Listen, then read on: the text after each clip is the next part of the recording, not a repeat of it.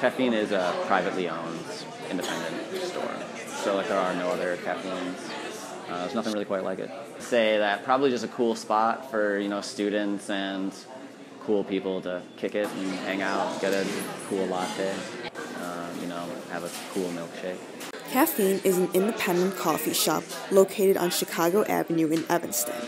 It was founded by Irene Six 22 years ago during a coffee house boom. Six passed away last May. Nevertheless, Kafein is still a popular late night spot among Northwestern students and people in Evanston. One major draw is the open mics at 6:30 p.m. every Monday.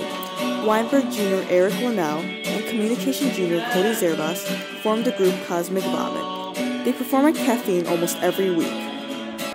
They're one of the few open mics in all of Evanston, so it's a good opportunity to perform, uh, get consistent performance, try to fine tune things.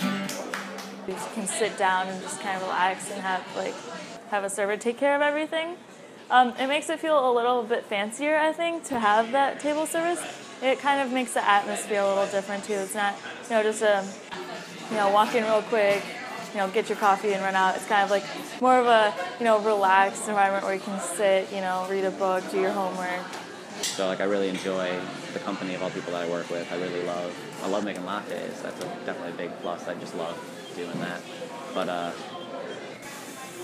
it's really fun to have a spot where people can come together and have a cool environment for to kick. So that's kind of what I was looking for when I was 15 and I started coming here. As soon as my friends could drive, it's kind of the only spot to go in the North Shore late night. So uh, we were just always looking for a cool place to kick it, and I just kind of am looking to perpetuate that going forward.